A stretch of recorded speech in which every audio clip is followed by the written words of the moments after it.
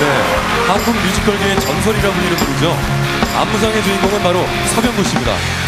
서병구 씨는 지금까지 올댓재즈, 삼총사, 페임 등 수많은 작품들의 안무를 통해 뮤지컬 무대를 풍성하게 채워주셨는데요. 특히 라카지를 통해 화려하고 이색적인 안무를 선보였습니다.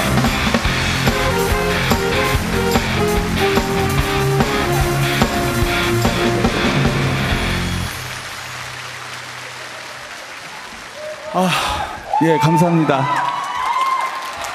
이- 우선 저를 믿고 저를 안무를 맡겨주신 어, 악어 컴퍼니 조행도 대표께 감사드리고요. 저의 든든한 파트너 이진아 연출한테도 감사드릴게요. 제가 올해로 뮤지컬 안무한 지 벌써 27년이 됐네요. 근데 어느 연출님께서 저 춤추고 안무하시는 걸 보시더니 한 10년은 더 해먹겠다 그러더라고요. 저는 아니에요. 한 30년 더 할 겁니다. 저 많이 불러주시고요.